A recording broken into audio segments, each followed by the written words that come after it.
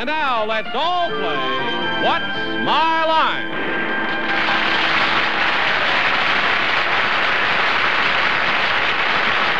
And now, live from New York, let's meet our What's My Line panel. First, the delightful star of stage and television, Miss Arlene Francis.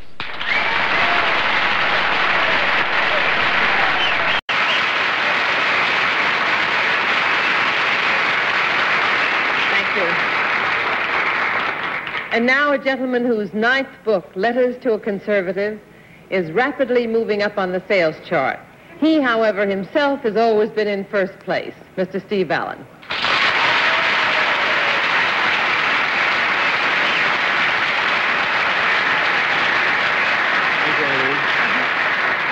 Thank you, Arlene. And next, a young lady who is the co-star of the Trials of O'Brien program, which incidentally, incidentally, Coincidence. good night, folks. Accidentally. Yes, which eventually, if I shut up, will move to uh, Friday nights on CBS. Lovely Miss Joanna Barnes.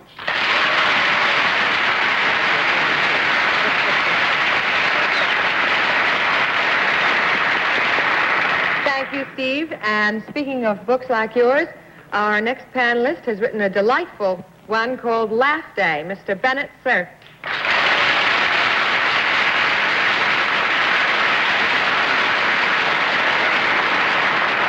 I don't think Steve mentioned the fact that Joanna also writes a uh, syndicated column about interior decorating, isn't it? Called Touching Home. Very good, too. Thank you. And here is our panel moderator, that virtuoso of verbosity, Mr. John Charles Pop Daly.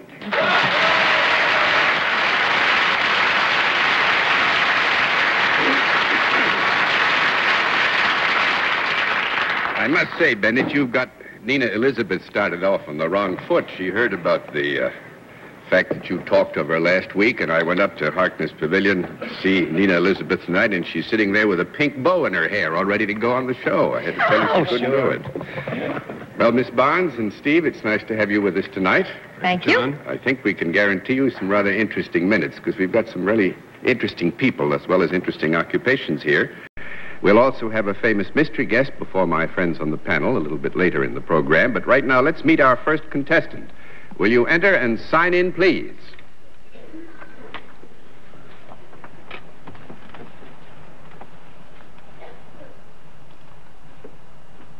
Bertha Mayana. Is that right?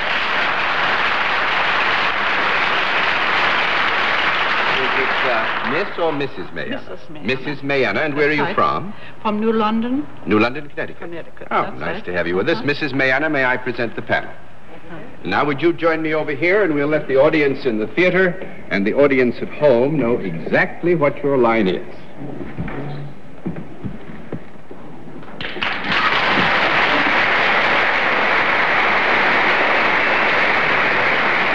All right, panel, we can tell you that Mrs. Mayana is salaried and deals in a service, and we will begin with Steve Allen. Mrs. Miana, uh, I couldn't hear you speak too clearly. Were you by any chance born in some other part of the world than the United States? Yes. Would that fact, John, be at all relevant? Would that be a helpful clue in trying No. to find out what the service is? No, it would not, No, it Steve. would not. One down and nine to go, Miss Barnes. Do you perform this service equally for both men and women? Not equally. Well, let us say it can be it can be given equally to men or women, although we won't guarantee that the numbers are exactly the same. Would you be more likely to perform it for men? From for men? Yes, this Yes. service.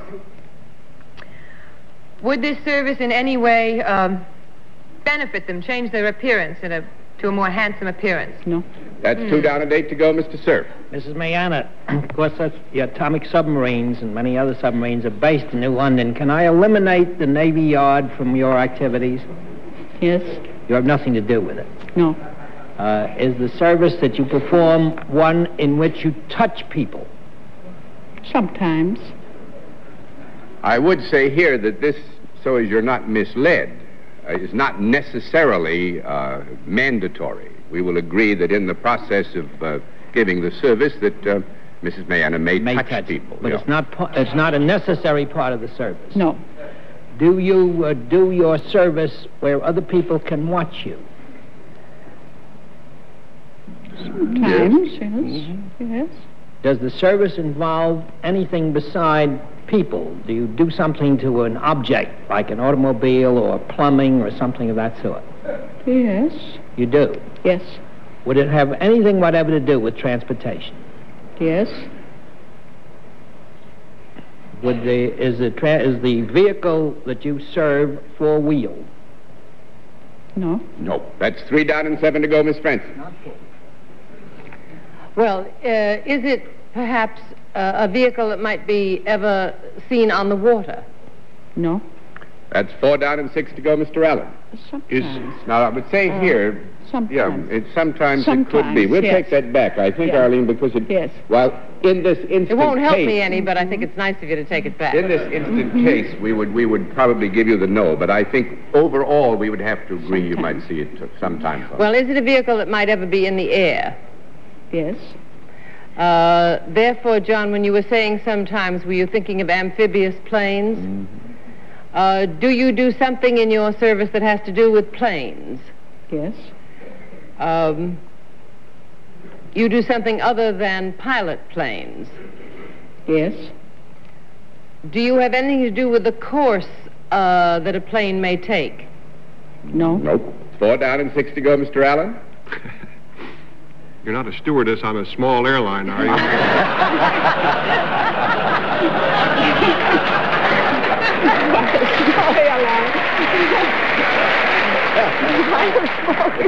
I said you're not. Uh, are you, uh, do you do anything mechanical in nature? Nope. No. Five down and five to go, Miss Barnes. Would you dress differently when you're doing this from the way that we see you now here? Yes. That's the way you looked at it. I have on now. um, would it be anything, uh, would we recognize immediately your function in the widest sense if we saw you in this outfit? No.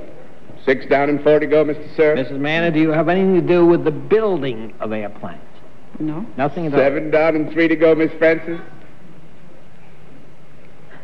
Well, she certainly doesn't have anything to do with the dismantling of them. um, do you have anything to do with the service that is given on planes? No. You mean here the servicing of an aircraft, Yes, the service No. to an aircraft. Eight to the passengers two- on an aircraft. Mr. Allen? Do you work more in an office type uh, context than in, say, a hangar or a field or something of that sort? I mean, out on the field. No. Nine down and one to go, Miss Barnes. Maybe she has something. We have With a contract. You may have 30 seconds for a concert. Training or maintenance? Did you rule out maintenance? Maintenance is ruled out we because ruled that's out service. maintenance. But, but could she train them in any way? She serves people. Maybe she has something to do with selling. But mostly men. She doesn't work in an office. She can't sell tickets. Nothing. What do you do for men that you can't do Take for them out to ladies? the range. Pilot. Pilot. No, no, that's out. Hmm. All right, conference I'm over. sorry. You get the last word. yes, the, the death blow. Uh, do you have anything to do with any sort of training which applies like Yes. it, Yes. uh, applicable to flight? Yes. Uh, do you train personnel who work inside the airplane? Yeah, I'm going to throw it over. What's the most obvious thing in the world to? Are you a flight instructor? I would like you to meet a Oh. flight instructor.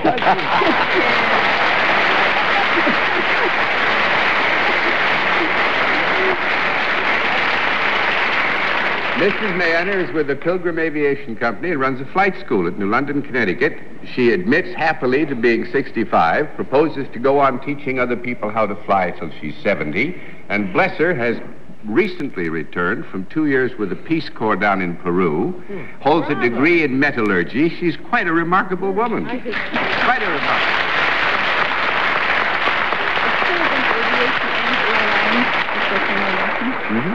What did you say? Pilgrim Aviation and Airlines. Aviation and airlines. Well, wonderful. well, that's a remarkable career, and thanks a lot for sharing it with us. Nice to have you with us.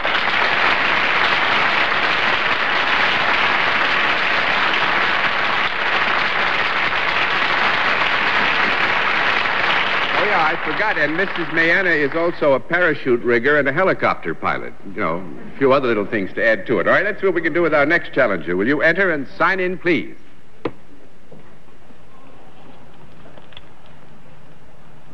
O'Neill. Mercier, right, sir? All right. Mr. Mercier, where are you from? In, from Victoriaville, Quebec. Victoriaville, Quebec. Yes. Nice to have you with us. May I present the panel? Now, will you join me over here, please? And uh, we'll let the audience in the theater and the audience at home know exactly what your line is.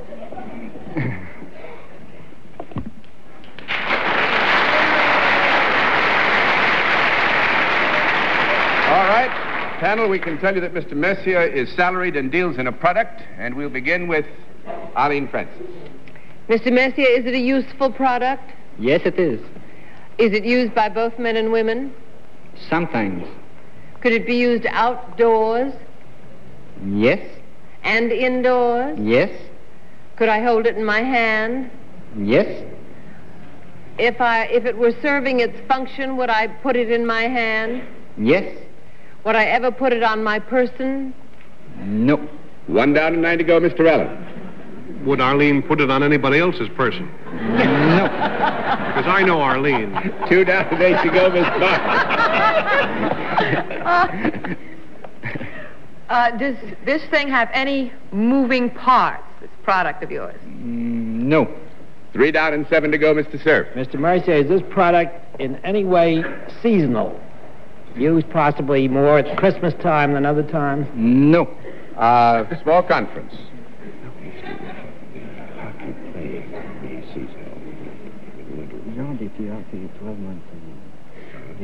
No, John. We have a sticky wicket here. We're living in times that are quite remarkable in that actually seasonal characteristics that used to obtain several, you know, years ago, a couple of decades ago, don't necessarily obtain any more. With Mr. Mercier's permission, I will give you a qualified yes as to what might be normally expected if you ask the question of seasonal character, but at the same time, we do not deny that the, the product is involved on a 12 months basis. Will that be all right with you, sir? I see. Have to. We're in the same boat you are, Mr. Mercier. uh, Mr. Mercier, is there anything decorative or about this product? Will you come again, please? Is it decorative? Is it is it pretty? Does it does it make pe- things look nicer when you put it on? No. No. Four down and six to go, Miss Francis. Uh, Monsieur Mercier, is it anything that is consumed? Yes, it is. Now, this is in the context that it can be used up in time. It can be used up. However, it is not something you put in your mouth. No. Yes, it is not something you put in your mouth, no. When I put it in, when I hold it in my hand, uh, is it soft? No, miss. I'm sorry to hear that. Terrible. Five down and five to go, Mr. Allen. This uh, hard handheld held object, is it, uh, it all metal? Nope. Six down and four to go, Miss Barnes. Was any part of this product ever living? Not in the sense of animal life, no. Seven down and three to go, Mr. Cerf. Is uh, you say it was not living in animal life? Well, I Can was we just also eliminate vegetable life too? Well, here we go back to something better, which we've always accepted. Uh, we'll agree almost anything that grows can be considered to have been alive at one time. I just wanted to define the answer for Miss Barnes, who's not used to our, our uh, patterns, that uh, I anticipated the answer had the character of animal life in it that she was looking for, so I gave it that way, you know. Mm. Is- Mr. Mercier, is there anything is there anything dangerous about this product? No, mister. Eight down and two to go, Miss Francis. Is there anything pleasurable about the product? Yes. Is it something that what one might use uh, uh, to amuse oneself or someone else? Yes.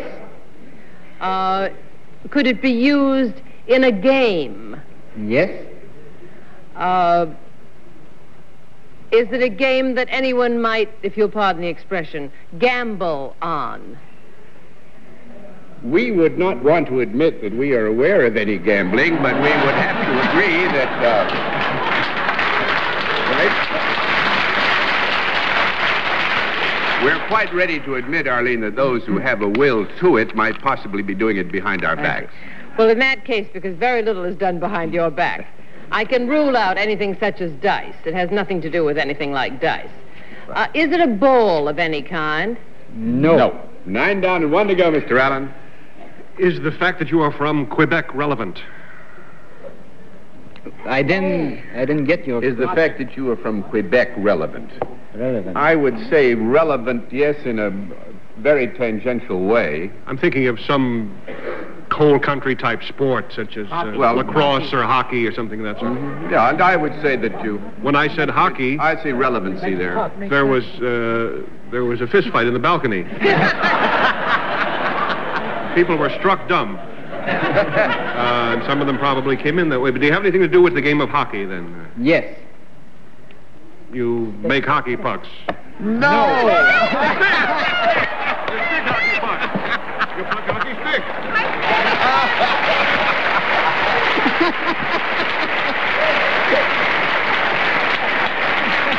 No, we'll count. You just missed it. You just missed it. We'll count that as having one because I think you would have gotten. That's very good because that was a tough one. Actually, uh, Mr. Mercier is with uh, Mailot and Frères Incorporated, who naturally up in that part of the country. I, I guess you're the biggest hockey stick makers. Yes, that's right. How do your sticks ha- hold out when people hit other people over the heads with them, Mr. They Ray? break. They They break. break the heads of the sticks. One thing that interested me that Mr. Mercier told me hockey sticks for professional play have uh, fiberglass. Fiberglass Whereas reinforced. Otherwise, they're made of ash, you know, but uh, they put fiberglass in them when, when they're going for the professional business.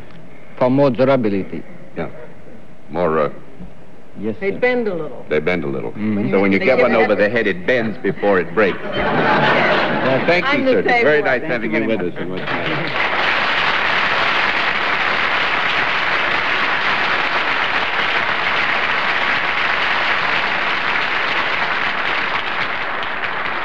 We'll meet tonight's mystery guest in just a moment, but first, this message. The special feature of our program, the appearance of our mystery challenger, for which the panel is always blindfolded. Blindfolds in place, panel? Yes, Yes. Good. Will you enter mystery challenger and sign in, please?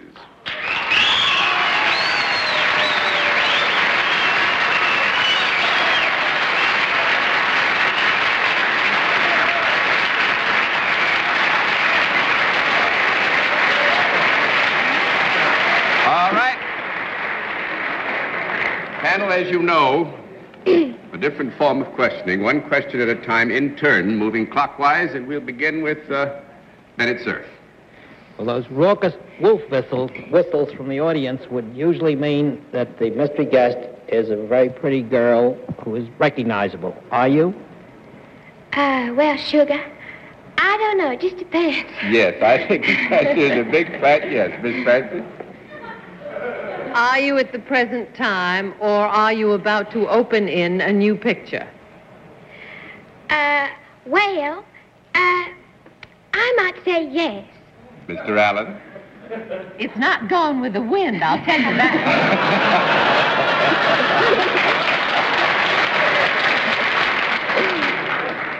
Uh, following Arlene's tack, uh, which our guest just sat on, I'm afraid. Uh, I, am I correct in assuming you are not from the American South? Oh, well, look. non, uh, uh, uh, je suis uh, français. I am French. I'm sorry. I cannot do the uh, American accent very well. That's the answer to your question is yes, Steve, and I'd hold everything else in reserve. Miss Barnes. Those two young ladies up there. Uh, you're about to open in a new film. Are you uh, well known for your romantic leads in pictures? Uh, well, uh, no. I'd say no. No, I don't think so. One down and nine to go, Mr. Cerf. Uh, there's a, there's a new picture opening at Radio City Music Hall this, this week. Would you be involved in those proceedings? Uh, I am a little involved. Uh, yes. Thank you. Uh, is that the cat picture? Yes. Oh, is it uh, Patty? J- no, uh, uh, Hayley Mills. Hayley Mills right.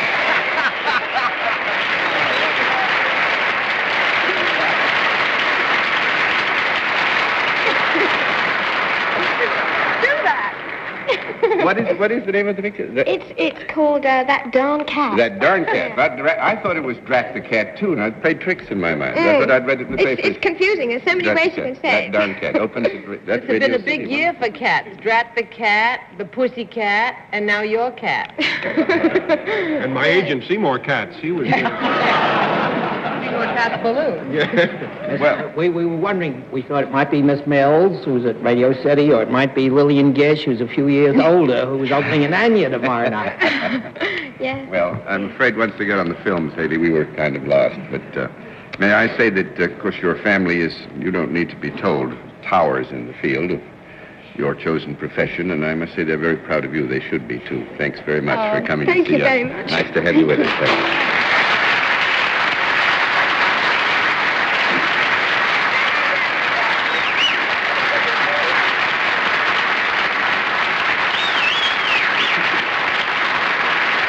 I think we give you some honors tonight. Congratulations, panel. We'll have another contestant after this word. All right, now will our final contestant enter and sign in, please?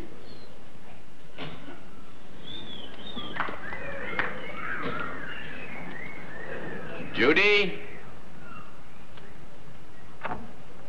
Story, right? All right.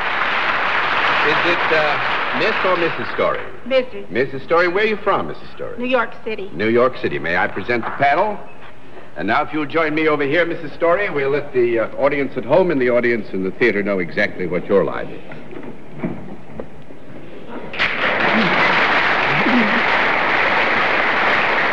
All right, panel, we tell you frankly, since time is short, that this is a tricky one. We'll give you the usual information that Mrs. Story is self-employed and deals in a product, and we'll begin with Miss Joanna Barnes.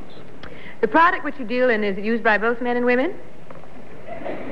Hmm. Matter of speaking. Mm-hmm. Yes, it is. Uh, is it small enough so I might hold it in my hand? Yes. Um, is it uh, anything which with which I might change my appearance? No. No, No. that's one down and nine to go, Mr. Cerf. Mrs. Story, is this uh, product consumable? No. That's two down and eight to go, Miss Francis.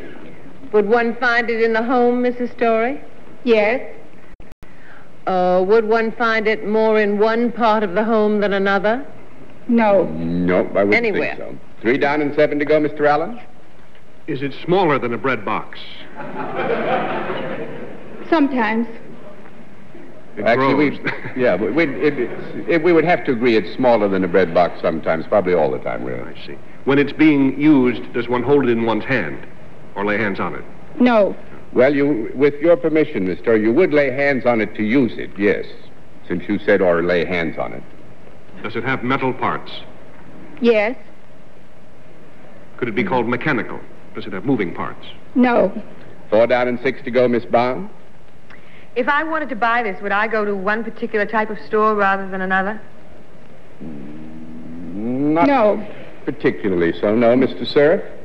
When you use this product, Mrs. Story, is it applied to the, some part of the person? Well, I've got to turn the cards over because we're running out of time. Because actually, it is applied, but not to the person. Because Mrs. Story makes coats for dogs. out of out of plastic raincoats, velvet, and all kinds of things. And at Christmas time, she makes a, a, uh Santa Claus coat for a dog, you know, in red, regular Santa Claus thing, so that the season has a grand time. Thanks very much, Mrs. Story. Nice to have had you with us on What's.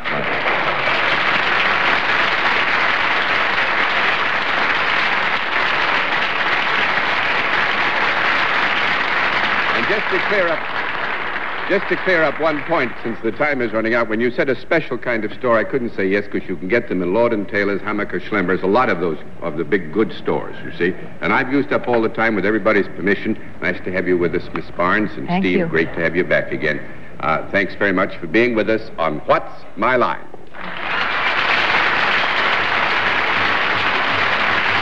What's My Line is a CBS television network production in association with Mark Goodson and Bill Todman. This is Johnny Olson speaking.